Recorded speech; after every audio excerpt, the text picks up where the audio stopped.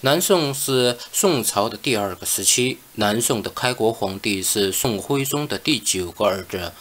他因为母亲地位低下，为了引起父亲的注意，从小赵构就非常勤奋，拉弓射箭、诗词歌赋，样样精通。公元一二五年，金太宗发动第一次亲宋的战争，金兵分东西两路南下，西路军攻克肃帝之后，被阻隔在太原，无法南下。东路军渡过黄河，直逼都城汴梁。十二月，宋徽宗传位给太子赵恒，自己退位，坐上了太上皇。宋徽宗带上自己的亲信，跑到了京口。京口就是今天江苏省的镇江。随后，赵恒继位，他就是宋钦宗。他看到太上皇走了，他也打算跑，但被李纲等人阻止。他就任命李纲负责都城的防御。公元一二六年，汴梁军民在李纲的指挥下，多次打退金兵进攻。东路军的主帅完颜宗望看到没有得到任何好处，这时宋朝的各地援军陆续赶到，他认识到此处不可久留，就答应了宋钦宗求和的请求。他要完钱之后，为了保证自己撤退时的安全，还要求宰相和亲王作为人质。宋钦宗把宰相张邦昌豁了出去，但到了自己的弟弟，宋钦宗有些犹豫。他把弟弟们叫来，问谁愿意去。这时赵构站了出来，他说：“我愿意去。”出发的时候，宋钦宗带着文武百官为赵构和张邦昌送行。赵构对宋钦宗说：“如果金宋两国交战，不用考虑我的安危。”这一年，赵构只有十九岁。到了金营。完颜宗望想给宋人一个下马威，让武士在大帐门外排成两行，刀出鞘，剑上弦。完颜宗望看到战战兢兢的张邦昌和平静的赵构，按照完颜宗望对宋朝亲王的认识，他开始怀疑赵构的真实身份。那几天，赵构天天捧着《孙子兵法》看。完颜宗望决定试探一下赵构，就说。你们众人看什么书都没有用，打起仗来还不是望风即溃？赵构反问道：“是吗？”然后手指完颜宗望身后的那张宝弓，问：“这弓是你的吗？我能拉开？”完颜宗望把宝弓递给了赵构，并羞辱赵构要小心点，免得把手割伤。赵构拉满弓之后，搭上箭，然后对准完颜宗望，吓得完颜宗望赶忙跑出了帐外。赵构哈哈大笑，完颜宗望很是生气。完颜宗望决定和赵构比射箭。完颜宗望把三支箭射成一条线，而赵构射成了品质，这和重稳的宋朝大环境不靠边，更加深了完颜宗望的怀疑。这时，北宋最精锐的陕西军将领姚平忠建议宋钦宗派兵偷袭金营，一定会成功。宋钦宗竟然同意了。然而，金朝的密探把这个消息告诉给了完颜宗望。当姚平忠带领着八千士兵到达金营时，却发现营中空无一人。姚平忠知道中计，但为时已晚。最终，宋军全军覆没，劫营失败。完颜宗望大怒，带领着士兵抡刀责问。张邦昌瘫软在地，说不出话。赵构依然一副波澜不惊的表情，回应道。大宋秦王的兵马云集，有几十万之众，有一两支兵马没有约束住，前来劫营也很正常。完颜宗望看到赵构始终从容淡定的样子，怀疑他是将门之子冒充的。完颜宗望看到满脸是泪痕的张邦昌和神情自若的赵构，他彻底肯定了自己的判断：宋朝不管这个亲王的死活，这个亲王一定是假的。完颜宗望感觉被欺骗了，立即通知宋钦宗派一个真亲王过来。于是宋钦宗派出肃王代替了赵构。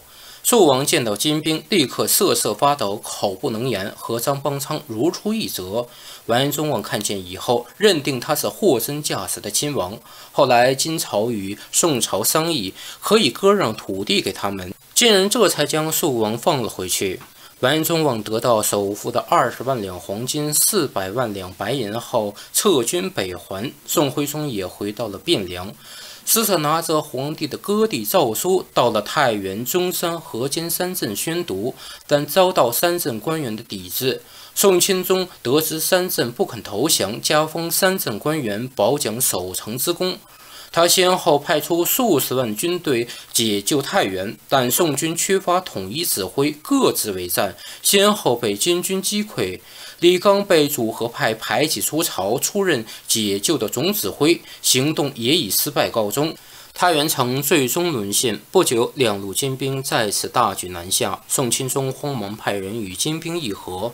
完颜宗望后来得知赵构为真正的亲王时，后悔莫及。他接见宋史时表示：“议和者只要康王赵构。”宋钦宗于是又让赵构出使金营。同他前往的还有尚书王云。待两人走到河北的池州，被大将宗泽提醒。敌营已经有亲王作为人质，金人并没有真心讲和。宗泽建议赵构先回到朝廷后和皇帝说明情况，身旁的王云也表示同意。不料池州百姓听说朝廷又要议和，大为不满，加上王云跟拥挤过来的百姓发生了语言的冲突，结果百姓大骂王云为汉奸。随后王云死于乱权之下。明代的学者刘光祖认为，如果当时没有王允在身旁，被打的就是。赵构对此，赵构也心知肚明，故称帝后封王允为忠显公。他还亲自下令为其修建庙宇。此事对赵构影响极大，让他认识到百姓的可怕。当时池州兵马并不多，遭到金兵进攻很难保全。于是宗泽和赵构就来到襄州，襄州就是今天河南省的安阳。十二月，金兵东路军再次濒临汴梁，而西路军没有太原的阻拦，南下异常的顺利。他们渡过黄河，攻克洛阳后，主力掉头与东路军合围为汴梁。宋钦宗任命赵构为河北兵马大元帅，组织兵马进京勤王。但赵构却命令宗泽领军救援汴梁，自己先后跑到了河北与山东。此时赵构的锐气已经荡然全无，他认识到保命才是第一要务。不久，汴梁的外城被金兵攻破。宋钦宗前往金营议和时被压。金人在公元一一二七年攻陷了汴梁的全城，北宋自此灭亡。由于金国无法统治北宋的国土，同时也为了避免受到北方人民起义的直接打击，他们决定建立傀儡政权，以便自己搜刮百姓的财富。公元一二七年三月，金国册立张邦昌为皇帝，建立国号为大楚。张邦昌知道这个龙椅不好坐，当时大多数的汉臣都持激烈的反对态度，其中最为激烈的便是钱惠。张邦昌于是诈病拒绝登基，但最后金国以屠城萧要挟逼迫张邦昌就范。张邦昌坚决拒绝朝廷官员向他行跪拜大礼，他始终与朝廷官员保持着平等关系。不久，金国的军队掠劫了北宋的宗室、在京官员以及大批战利品北归。第二天，张邦昌听从大臣的建议，派人四处寻访康王赵构，并计划出迎宋哲宗的废皇后孟氏入宫垂帘听政。公元一二七年四月，张邦昌正式宣布退位，伪楚政权自此宣告灭亡。他前后共存在三十三日。其后不久，赵构正式继皇帝位，建立南宋政权。他姚尊被掠到金国的母亲韦氏为宣和皇后。赵构迫于形势严峻，启用李纲为宰相。李纲复错后做的第一件事情就是弹劾张邦昌。赵构于是将张邦昌贬为节度副使。不久，金兵以张邦昌被废为名，派兵南侵。同年九月，赵构下诏将张邦昌赐死。随后，金军以张邦昌被杀为由，再次攻打宋朝。赵构见金兵来袭，他下达了巡幸东南的手诏，目的地是建康。李纲则极力反对，东京留守宗泽还力请赵构还都主持，恢复大计。李纲抬出不久前他独留中原的承诺，迫使他收回成命，招致赵构的记恨。八月，赵构提升李纲的政敌的官职，形成了政治上对李纲的钳制局面。不久，义和派的黄潜善让亲信张俊弹劾李纲，李纲愤而辞职。李纲主政仅有七十五天。公元一二八年，金军包围了济南，刘裕是济南的知府。金军趁机劝诱了刘裕，刘裕于是杀了他的部将关胜，率百姓投降。百姓不从，刘裕献城投降。公元一三零年，在金朝将军完颜宗翰的策划下，刘裕继皇帝位，建立国号为大齐，历史上称为伪齐。伪齐建立前后，赵构便将主要的精力用于平定内部的叛乱，加上惧怕金朝，故未对伪齐采取较大的军事行动。金建立伪齐政权的目的，就是用它来镇压北方人民抗金的斗争。自金熙宗继位时，中汉去世，其集团势力瓦解，刘裕失去了最大的靠山。另外，北方汉族聚居区经金朝的多年的镇压和经营，社会秩序逐渐稳定。人民抗金的情绪有所缓和，金熙宗担心伪齐势力做大，于公元一三七年废除伪齐政权，将刘玉家迁至上京。至此，立国七年的伪齐政权结束。当时赵构没有对抗金朝的决心，他南逃到了扬州。赵公于是冒称为赵构的弟弟信王，聚兵于五马山抗击金军，寻求赵构的支持。赵构名义上支持，但实际上却是千方百计的阻拦，最终导致了赵公的失败。宗泽也忧愤而死。宗泽死后，金军决定南伐，义军被逐个击破，官军则分崩离析。不久，金军攻破了汴梁，赵构令百官议事，有大臣请求南逃。赵构看到前线战报后，急忙连夜撤退。赵构的御船停泊在河岸，扬州百姓十分恐慌。赵构这才下令，民众可自行躲避金军。城内的居民听说皇帝出城，也纷纷向城外逃跑。城中拥挤混乱，死伤与落水者不计其数。事后，朝野将扬州大溃归咎于宰相。赵构于是替换了宰相。在赵构逃跑的路上，宦官依然肆无忌惮、作威作福，这激起了居民的极大义愤。将领苗阜和刘正彦利用将士对朝政的不满，发动了兵变，杀了赵构信任的宦官，并逼迫赵构将皇位禅让给两岁的皇太子。兵变消息传出后，苗刘二人没有采取进一步的措施，各地将领纷纷出兵镇压。苗刘二人见局势已经失控，连忙让赵构复辟。最后，两人在健康的闹市被处决。公元一二九年，完颜宗弼继续挥军南下，渡过长江。吕一号请求赵构登船入海避敌。第二年正月，赵构逃向了温州。同年冬天，完颜宗弼再次攻打南宋。宋军的韩世忠正确估计敌情，先占了有利地形，凭借着长江天险，充分发挥水战之长，阻遏了金军四十天不敢渡江。完颜宗弼改用火攻之策，终于突围北撤。宰相吕一号见状，于是请求赵构下令亲征。大臣赵鼎却不认同这么做。吕一号厌恶赵鼎与自己政见不合，调任他为翰林学士。但赵鼎却不肯就职，于是他被改任为吏部尚书。然而赵鼎还是不接受。随后，赵鼎上书罗列吕一号过失近千言，吕一号随即被罢相。金军暂停南迁，赵构便抽调精锐部队镇压各地的农民起义军，巩固了自己的政权。赵构虽然在防御金军方面做了一些部署，但只是把军事部署作为议和的筹码。他对主和派的秦桧予以重用，竭力压制主战派的要求。公元一三一年，宰相范仲淹建议讨论朝廷过度赏赐大臣之事。起初，秦桧极力赞成限制赏赐，但赵构却坚决反对。秦桧于是见风使舵，附和赵构，并以此为由排斥范仲淹。七月，范仲淹被罢相。八月，赵构任命秦桧为宰相。为了牵制秦桧，赵构又将吕一号官复原职。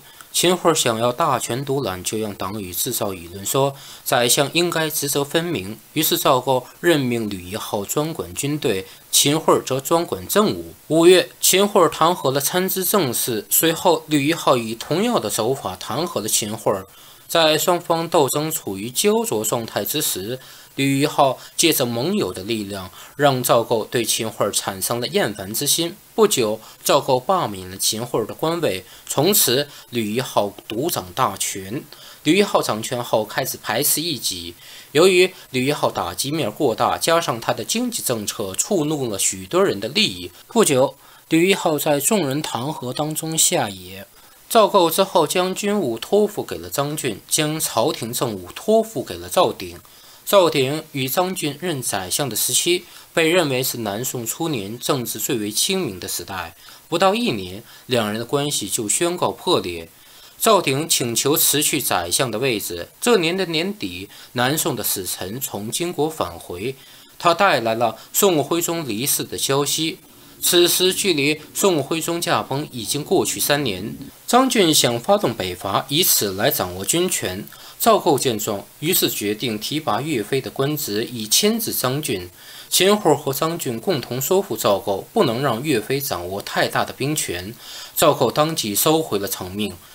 公元一三七年，赵构表示，只要金朝议和，一切条件都可以接受。次年，赵构离开了建康，定都临安。不久，金朝派遣使臣出访南宋，要求赵构跪拜接受金朝的诏书。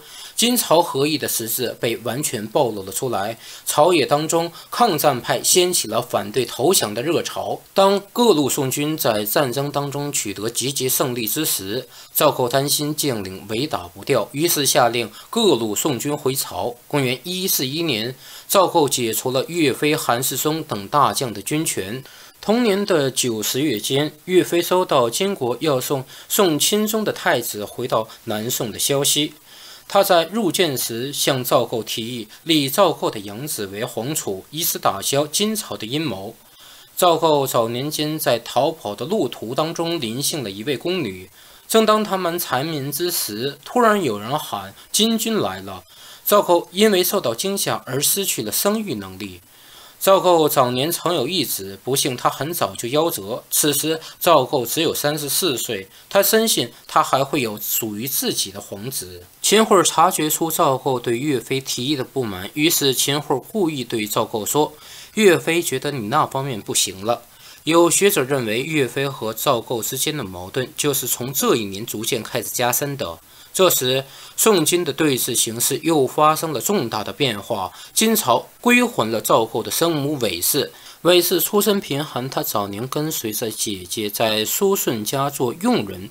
在侍寝时，韦氏竟然在苏顺的床上尿了。事后，苏顺将她送到了京城，安排在道观中居住。不久，韦氏经人介绍进入端王赵佶府中。赵佶继位后，韦氏成为徽宗宠妃郑氏的侍女。她与比她稍小一些郑氏的另一个侍女乔氏结为姐妹，相约其中一人富贵时不能忘记对方。后来，乔氏得到宠幸，封为贵妃，向徽宗推荐了韦氏，韦氏因而受到了临幸。韦氏并不受宠，除了赵构以外，别无生育。公元一二六年。金人索取宋徽宗之子赴金人为人质时，由于康王赵构自愿前往，宋徽宗这才加封他为隆德宫贤妃。开封城外城陷落之时，宋钦宗在金人的威胁下屈膝投降，包括韦氏在内的宋朝皇室几乎被一网打尽，沦为金人的俘虏。韦氏在途中祈祷赵构能够顺利登基。靖康之变时，赵构不在开封，故幸免于难。他继承皇位后，声称要迎回生母，以彰显孝心。公元一四一年，金宋达成了绍兴和议。第二年，金朝同意遣返韦氏以及宋徽宗等人的灵柩。临行前，乔贵妃向韦氏敬酒，祈求能回到南宋。宋钦宗也哀求韦氏，韦氏生怕金人改变主意，他想甩开宋钦宗，但宋钦宗却不肯放手。韦氏无可奈何，只得对天发誓：“我先回去，如果不能迎回你，我就瞎了眼睛。”宋钦宗听后，这才让开道路。韦氏心急如焚，他以赵构的名义向金朝借钱，沿路上他将金钱赏赐给随行的人员。韦氏只希望能够快马加鞭，早日脱离险境。公元一一四二年，韦氏平安抵达了南宋。在此之前，一名女子自称是宋徽宗的第二十一个女儿。赵构颇为喜悦，他立即派遣以前的工人来检验查看。一番检测之后，他们对赵构说：“这名女子的样貌确实很像。”问他宫中以前的事情，他也能够回答上来，还说出了赵构的小名字。但有个可疑的地方，就是这名女子有一双大脚。在当时，女子从四五岁开始就要缠足。那女子辩解道。金人为了能够尽快赶路，就像驱赶牛马一样驱赶我们。我走了将近上万里路，双脚怎么可能像以前一样？赵构听后非常难过，也不再怀疑他的身份，于是立即将他招入宫中，封她为福国长公主，又将她嫁给了永州的防御使。宋徽宗共有三十八个儿子，四十二个女儿。赵构知道父亲只有这一个女儿逃了出来，他对妹妹关怀备至。在他出嫁时，赵构更是出手阔绰。韦氏归宋后，见到福国长公主，韦氏告诉儿子赵高，她是冒充的，真正的公主早已经离世。当时的人却认为韦氏在说谎，韦氏在金国和他共侍一夫，韦氏甚至还为敌人生下了孩子。赵构为了掩盖事情的真相，化解臣民的疑惑，故意将韦氏的年龄拔高十岁，误导人们以为韦氏被俘时已经是五旬老妇，从而降低人们相信韦氏改嫁金人的可能性。韦氏回到南宋后，早已将乔贵妃和宋钦宗抛在了脑后。或许是韦氏曾经发过毒誓的应验，到了晚年，他的眼睛竟然真的看不见了。很多有名的医生都看不好他的病。后来有一位道士用金针将他的左眼治好了。当他想把自己的右眼也治好时，这位道士却说：“太后，您只需要一只眼睛来看清东西就够了，另一只眼睛就当做没有实现自己的誓言的代价吧。”不过，按照现代科学角度来看，韦氏很可能得了白内障，只不过当时的医疗水平不够，无法医治而已。韦氏在享受十八年的荣华富贵后，于公元一一五九年离世，他享年八十岁。赵构在接回母亲后，赵构决心对内加强统治，而无意对外收复失地。此时，岳飞统帅全国五分之三的兵力。宋代自开国皇帝赵匡胤利用军队发动陈桥驿兵变以来，介于前代江山易手的教训，宋朝一直把防范武将专权作为国家的既定方针。岳飞作为统帅一方的大员，自然成为了赵构防范的对象。公元一一四一年，金国想要和谈，岳飞便成了和谈的障碍。绍兴和议签署一个多月后的除夕，岳飞便在狱中被害。按照金朝规定，秦桧成了终身的宰相。赵构虽然对他日益猜忌，但却纵容他专权跋扈。后期由于秦桧权势太大，引来了赵构的警觉。之后，赵构下令免去了秦桧孙子的状元的名次，由此秦桧的权势逐渐下降。公元一一五五年，秦桧病重。秦桧策划让儿子接替自己的位置，但遭到赵构的拒绝。不久，秦桧离世。在秦桧死后，赵构坚守和议的条款，每年都要向金朝上缴巨额的财富。公元一一六一年，完颜亮大举南侵，赵构又想再次逃离临安。不久，完颜亮被宋军击败。之后，金世宗继位，赵构准备再次对金朝议和。次年，在位三十六年的赵构以休养为由，传位给养子赵慎。赵慎是赵匡胤的七世孙。赵构之所以传位给他，是因为赵构对民间的情绪很是清楚。当时，很多百姓对当年赵光义夺取哥哥赵匡胤的皇位很是不满。虽然宋徽宗和宋钦宗都已经死去，但是他们的后人还在。肯定有很多人对赵构当皇帝是不满的，他们希望皇位在宋徽宗和宋钦宗的后人当中传递。此举断绝了宋徽宗和宋钦宗后人获得皇位的可能。赵构退位后，自称不再过问朝政，但事实却恰恰相反。一天，赵构去灵隐寺喝茶，有个行者对他照顾得很是殷勤。他打量一番行者，说：“我看你的样子不像个行者。”行者哭诉道：“我本是一个郡守，因为得罪了监司，被诬陷降罪，罚为庶人。为了糊口，特来此地投靠亲友。”赵构当即说：“我明天去替你向皇帝说明。”回宫后，赵构要复他的官职。几天后，他再去灵隐寺，见行者还在。他回宫后在饮宴时，怒容满面。孝宗小心翼翼地问赵构为何生气。赵构说：“我老了，没人听我的话了。那行者的事，我几天前就跟你讲了，为何你不去照办？”孝宗回答说：“我昨日已经向宰相说明，宰相一查，说此人是贪赃枉法，免了他一时，已经是宽大处理。再要复职，实在不行。”赵构却不顾这些，他说：“那叫我今后怎么再去见人？我已经答应他了。”孝宗无奈，只得让宰相照办。公元一八七年，当了二十五年的太上皇赵构去世，他时年八十一岁。宋孝宗赵慎并非是赵构的唯一养子。赵构在天下寻遍赵匡胤的后代之后，经过严格的甄选，最后只剩下了一个胖孩子赵卓和瘦孩子赵慎，他们同被留在宫中培养。后来，赵构以送美女之法考验他们，赵卓没有通过美人关，失去。去了当太子的机会，早在孝宗做太子时就积极主张抗金。孝宗刚一继位，就召见了主战大臣张俊。不久，孝宗下诏为岳飞平反，他想通过此举表明对主战派的支持。接着，孝宗又清理了其他各种冤案。公元一六三年，张俊被提升为枢密使，负责全国的兵马。之后，前后的党羽都被驱逐。从此，主战派在朝中占据了优势。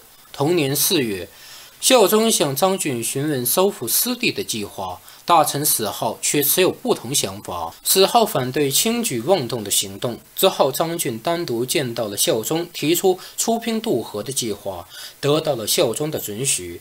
此后听说出兵未经过他的同意，此后于是上书请求辞去宰相职务。孝宗欣然应允。随后，宋军挥师北伐，但不久，宋军因为将领的内讧，导致宋军崩溃。此后，南宋丧失了再战之力，逐渐被迫议和，签订了隆兴和议。隆兴和议的主要内容为把原本向金朝称臣改为叔侄关系。南宋的捐贡由二十五万减至二十万，税币减至二十万。南宋割六州之地给金朝。因议和在乾道元年正式生效，故又称为乾道之盟。和议签订后，孝宗并不甘愿妥协，继续做收复失地的打算。孝宗掌握用人大权，亲自处理政事，但这时朝廷上多是妥协派。公元一六七年，抗金的老臣只剩下了于永文一人。公元一七四年，于永文离世。宋孝宗在于永文死后，将目光转向了内政。他积极整顿吏治，加强集权，重视农业生产。当时社会民生富足，人民安居乐业，呈现政治繁荣的局面。公元一八九年，孝宗禅让给儿子赵敦，赵敦即为宋光宗。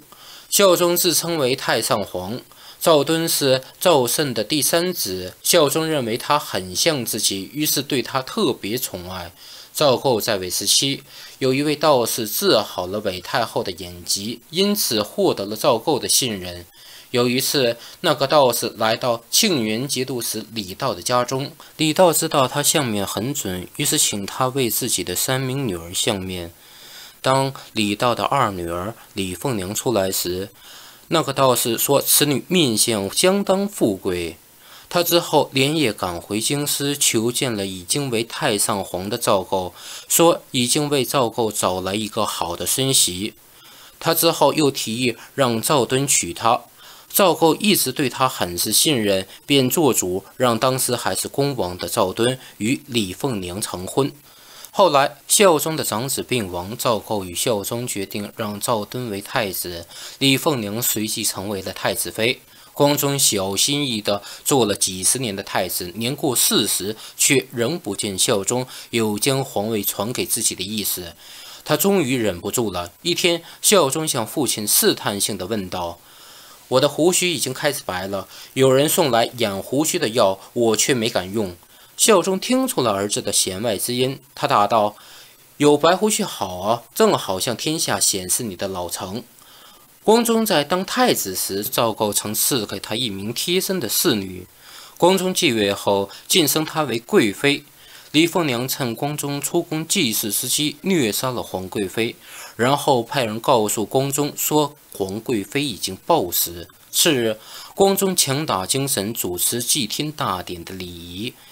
仪式进行过程当中，忽然狂风暴起，大雨倾盆而下，祭坛上的蜡烛也燃起了大火，祭祀被迫中断。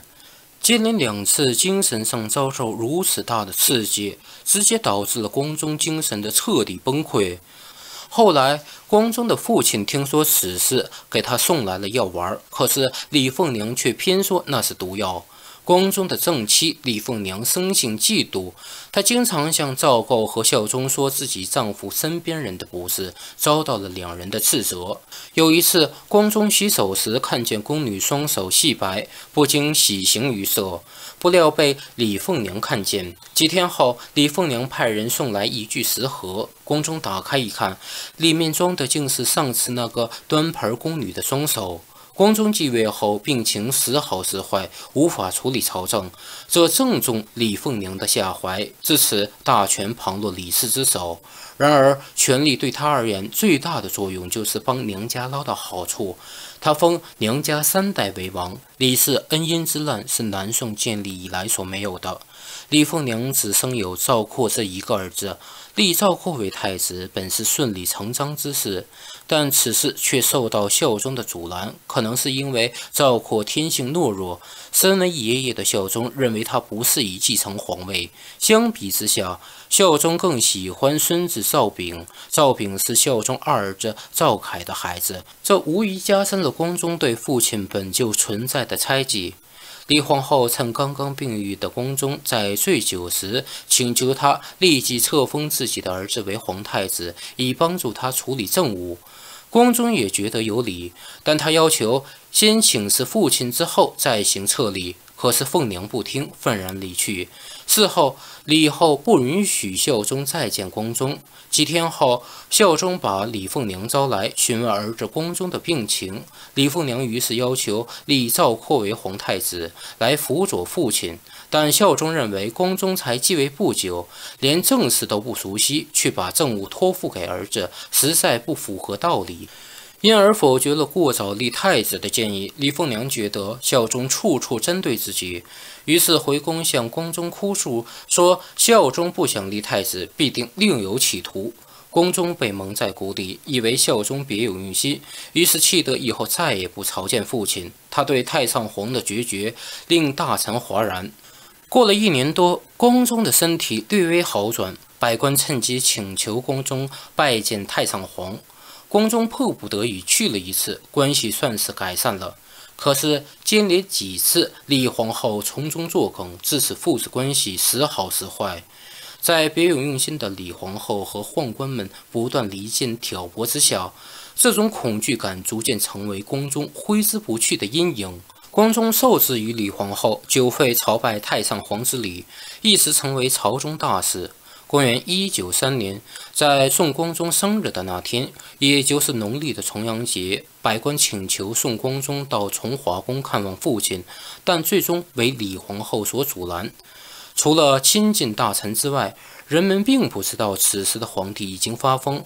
人们只知道他一点人情味也没有。于是，许多官员请愿，但最终遭到了宫中的驳回。他们纷纷辞职，以表示抗议。这场风波逐渐演化成为全国性的政治危机。后来，孝宗驾崩，百官请求宫中主持丧礼，宫中却一直拖延着不想去。结果，由仍然在世的太皇太后吴氏代行祭典。随着宋光宗病情的恶化，政局也开始动荡不安。群臣再也无法忍受这个疯子皇帝。公元一九四年七月，赵汝愚等人在太皇太后吴氏的指使下，拥立赵括登基，他就是宋宁宗。宋宁宗登基后，尊光宗为太上皇。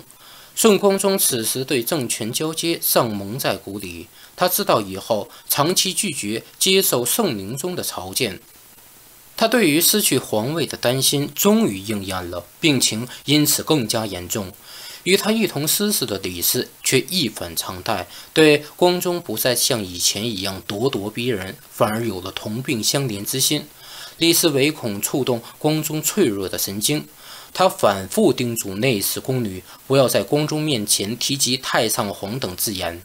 公元一二零零年，李凤娘请人为自己算命，算卦的人说，在这一年她会有厄运。于是李凤娘穿上道袍，烧香念佛。结果他没有逃过这一劫，在这一年的六月，他就病逝了。李凤娘死后，佣人到宫中为他取礼服，宫中管钥匙的人借机报复。就这样，佣人只好用旗子将其尸体包裹住，正准备抬回宫中治伤。疯疯癫癫的宫中来了，大家看到疯皇帝丢下尸体，便急忙散去。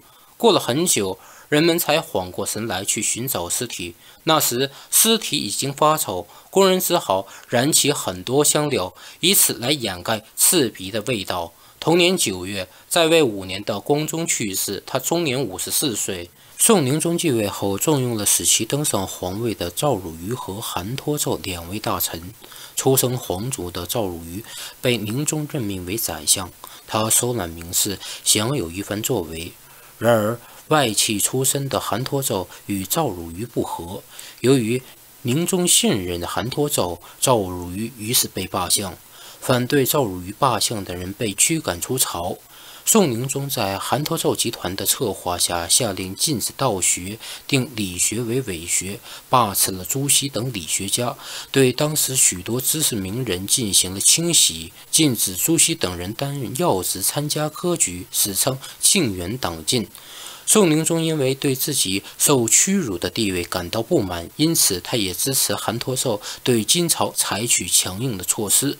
随后，他采纳了韩托胄的建议，下令削去了秦桧死后所封的爵位和谥号，并下诏追究秦桧的误国之罪。此举被认为是平反岳飞案最为彻底的一次。这些措施有力打击了主和派，使主战派得到了鼓舞。随后，宋宁宗下诏北伐金朝，史称开西北伐。开战之前，就有一些有识之士在分析形势之后，提出此时进行战争对宋朝不利，反对战争的声音立即被朝廷镇压下去。开战初期，宋军收复了一些地方，但由于金朝事先得到了风声，已有了准备。由于韩侂胄用人不当，不久金军就对宋军发起了进攻。在金军大举进攻之下，韩侂胄想在四川战场挽回败局，但宋朝将领却早已暗通金兵。这场战争以宋朝失败而告终。作为胜利者，金朝除了提出割地赔款之外，还要求将发动战争的元凶送到金国。杨皇后因为当年韩侂胄在宋宁宗选皇后问题上不倾向于自己而怀恨在心，同时她也认为北伐过于轻率。杨皇后劝说宋宁宗，但宋宁宗很是犹豫，一时难以定夺。杨皇后担心皇帝如果走漏风声，让大权在握的韩侂胄知道，后果将不堪设想。他就与亲信密谋，除掉了韩侂胄。韩侂胄被杀以后，大臣史弥远立即派人将这一消息告诉给了金朝。并以此作为向金朝求和的筹码。此后，朝政被史弥远前相族所把持。公元一二零八年，南宋与金朝签订了屈辱的嘉定和议。公元一二二一年，宋宁宗立赵弘为皇子。赵弘对史弥远专权非常不满，然而这一切都被史弥远送去监视赵弘的侍女看在眼里，他密报给了史弥远。史弥远非常害怕，于是他就经常向皇帝说赵弘的不是。晚年的宁宗由于身体原因，他开始迷上了仙丹。宁宗在位后期，北方形势发生巨变，蒙古崛起，金朝连年被蒙古所侵。宁宗时期是南宋的历史转折点，此时南宋灭亡的种种症状已经出现。公元一二二四年，史弥远进献百余仙丹给宁宗。宁宗服药后不久就离世。宁宗驾崩后，史弥远联合杨皇后假传宁宗遗诏，立赵云为帝，他就是宋理宗。太子赵弘认为当皇帝的应该是自己，因此他不肯朝拜，结果被别人强摁着头下拜。史弥远的阴谋激起了人们的强烈愤慨。湖州人潘仁拥立赵弘为帝。史弥远得到消息后，赶忙派人到湖州逼迫赵弘自尽。一些朝臣上书说赵弘是冤枉的，但上书的大臣都被免官。李宗登基后，将所有政务交给史弥远，自己则暗中韬光养晦。南宋政治日趋腐败。公元一二三三年，专权二十六年的史弥远去世，李宗为防止他人追究自己得位不当，规定史弥远的罪行一律不予追究，凡涉及史弥远及其家族的行为都不许讨论。赵云继位的前十年都是在权相史弥远挟持之下，直到史弥远死后，赵云才开始亲政。他采取了一系列的措施，史称“端平更化”。端平更化是南宋后期黑暗政治当中的唯一一点亮色，对稳定时局产生了一定的积极效果，但它并没有改变南宋走向衰落的趋势。与此同时，蒙古在北方地区迅速崛起，成为继辽、西夏、金之后又一对宋朝构成巨大威胁的少数民族政权。面对急剧变化的局势，宋朝内部对对外政策产生了争议。一些人出于仇视金朝的情绪，主张联盟灭金；另一部分人则相对理性，强调存亡此寒的道理。公元一二三二年，蒙古遣使商议宋蒙合作事宜。一直胸怀大志的李宗，把这看作是建立不朽工业的天赐良机。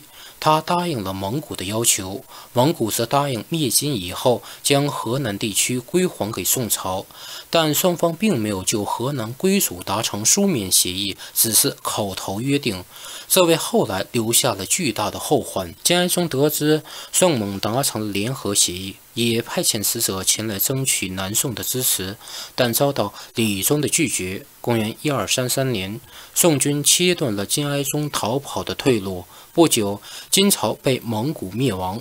金灭亡以后，蒙军北撤，河南空虚。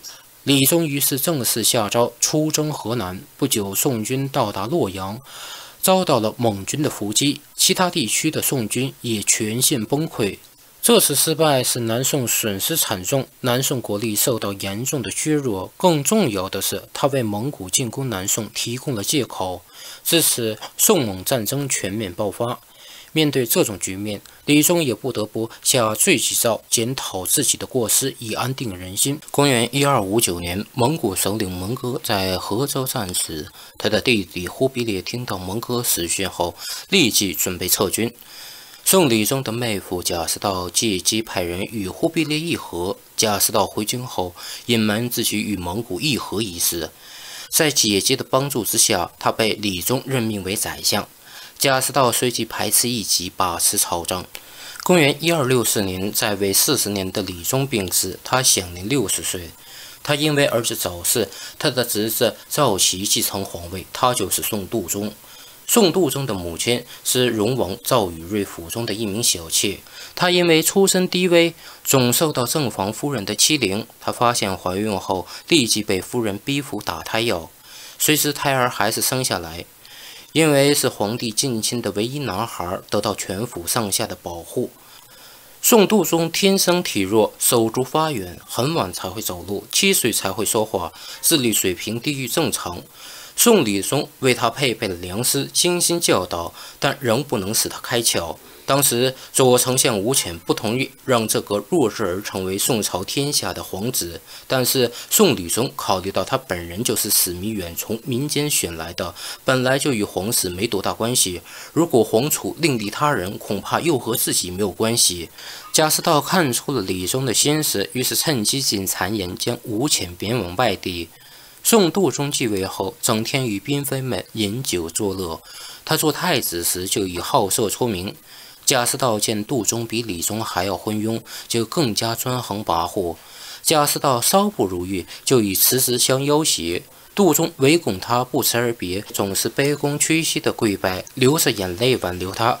此时南宋官员不顾国家存亡，临安城中甚至出现了饥荒，皇室贵族却大量囤积财物。大臣马公主实在看不下去，他请求宋度宗的父亲荣王拿出一些粮食来赈济灾民。荣王撒谎说他的仓库是空虚的。马光祖当面拿出了证据，荣王不得已才拿出一些粮食赈济。公元一二六八年，忽必烈稳定内部之后，即派兵沿汉江南下，包围了襄阳。第二年，蒙古人又包围了樊城。贾似道既不派兵增援，也不向皇帝报告。后来，宋度宗知道了战事，追问贾似道，贾似道却撒谎说蒙古兵已经退去，这是谁造的谣？杜宗回答说：“是一个宫女告诉他的。”贾似道随即将那宫女斩杀。公元一二七三年正月，樊城被元军攻破。同年二月，襄阳守将在粮尽弹绝之际献城投降。消息传来，贾似道假装率军出征。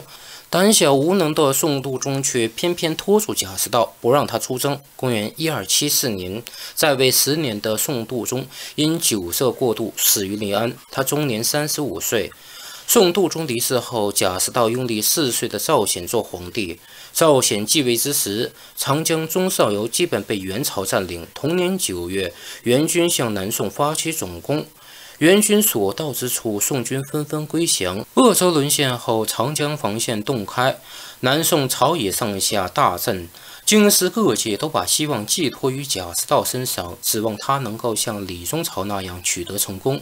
贾似道不得已在临安设置督府，准备出征。元军的一路统帅为刘整，刘整原是宋朝的大将，他被上司迫害，被迫归降了蒙古。贾似道对刘整的能力知道一清二楚，由于惧怕刘整，他迟迟不敢出兵，直到听说刘整死后，他才高兴地请求出征。贾似道抽调各路精兵十余万，带着妻妾离开了京师，阵势绵延百余里。二月，他与夏贵会合，夏贵一见到贾似道，就从袖子里抽出一张纸条，上面写着：“宋朝国事已尽，不要为他丢掉了性命。”贾似道心照不宣，点头默许。贾似道知道蒙古军队的勇猛，不敢与之正面交战，他仍然幻想走议和的老路，因此他下令释放元朝的俘虏。他希望通过称臣纳币求得和平。但此时元军的目的在于灭亡南宋，两军刚一交战，宋军即成溃败之势。贾似道战败后成为众矢之的，朝野上下出现处死贾似道的强烈呼声。在强大的压力下，谢太皇太后被迫将他免官，但此举无法平息众怒，朝廷内外都要求将他处死。谢太皇太后无奈，只得把他贬到了偏远的广东一带。贾似道行至漳州，被监押官斩杀。随着蒙古铁骑的逼近，临安城内人心惶惶，大批人试图逃离都城，尤其是朝廷的大小官员。谢太皇太后严厉谴责了这些不忠之臣。然而，太皇太后的谴责在蒙古铁骑威胁之下显得如此苍白无力，根本不能激起官员为宋史而战的信心。官员的逃跑瓦解了军心，使宋王朝根本无法组织起有效的抵抗，皇室陷入了孤立无援的境地。此时，朝廷如果能任用贤臣，局势或许还可以扭转。恰在此时，朝廷任命陈宜中为相。陈宜中是一个欺世盗名的两面派，他原本是贾似道推荐的。贾似道兵败以后，他却率先提出处死贾似道，以提高自己的声望。统帅禁军的殿前指挥使韩正提出迁都的建议，他竟然私自将其骗到家中，然后将他杀害。当时战事激烈，朝野内外纷纷要求他亲自前往前线督战，他却犹豫未说，不敢出城。七月份，他逃到了远离前线的南部沿海地区，他要求朝廷在这一地区给他安排职务。太皇太后无奈，亲自给他的母亲写信。在他的母亲的干预下，陈宜中回到了都城任职。局势在陈宜中的主持之下，朝着越来越不利于南宋的方向发展。公元一二七六年，太皇太后向元朝献上了降表和传国玉玺。元朝要求宰相会谈，陈宜中当夜逃往了温州。陈宜中逃走之后，蒙古铁骑已兵临城下，局面已经无可挽回。谢太皇太后随后任命文天祥出使蒙古军营谈判。文天祥随后被扣，谢太皇太后又派贾余庆出使。同年二月，时年五岁的宋恭帝领着宋使投降了元朝。公元一二八八年，已经年满十八岁的宋恭帝被送到了吐蕃学习梵书。其后汉文史记当中再也没有提起过他。据藏文记载。他十九岁时出家，没过几年，他就成为当时西藏的佛学大师。公元一三二三年，宋恭帝才结束他作为喇嘛的生活，也结束了他四十七年的俘虏生活。这一年，他五十二岁。算起来，他在西藏定居三十四年，期间再也没有踏入中原。关于他的死因，有两种说法。一种认为他以讲经为名聚众谋反而被处死，另一种说法是元代的统治者以他触犯文字狱为由将他赐死。就在临安城投降的前夜，翼王赵氏广蒙赵炳在驸马都尉杨震、国舅杨亮节的护送下逃出了城外。稍后，张世杰、陆秀夫也陆续率领残部到温州的江心寺会合。赵氏是宋度宗的庶长子。杜宗驾崩之后，群臣认为赵氏在皇子中年龄最长，应当立为皇帝。但是贾似道为了把持朝政，主张立嫡长子，结果赵显被立为帝，赵氏被立为吉王。而后，文天祥、陆秀夫决定效仿赵构的故事，拥立赵氏为天下兵马大元帅，赵炳为副元帅。几天后，赵氏一行从江心寺辗转来到了福州，并于公元一二七六年六月称帝，史称宋端宗。他封赵炳为魏王。当时宋朝约有二十余万军队，如果指挥得当，胜负也未知。但宋朝君臣却寄希望于援军退兵。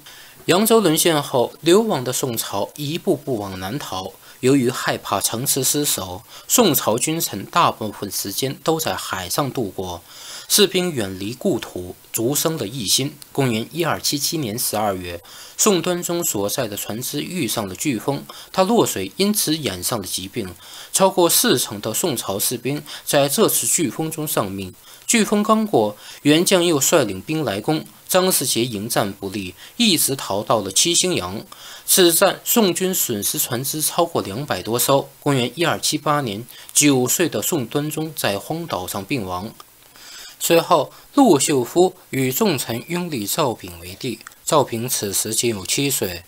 赵炳登基以后，陆秀峰和张世杰护卫着赵炳逃到了崖山。不久，文天祥在海丰兵败被俘，至此陆地的抗元势力覆灭。公元一二七九年，元军陆续抵达崖山，对南宋形成了三面包围之势。面对着巨大的压力，张世杰昼夜苦思破敌之策。